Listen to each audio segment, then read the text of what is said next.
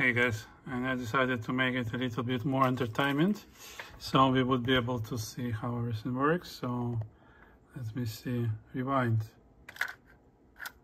It goes to 70. Fast forward to 75. Playback goes to 40. Good. Good results.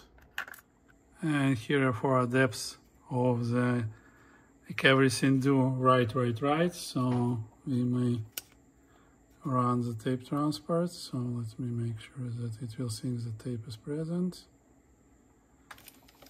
And measure the guide height. Right here. You see? It goes exactly the same way as it was when roller and guide was in the lower position so there is no difference. Thank you. Bye bye.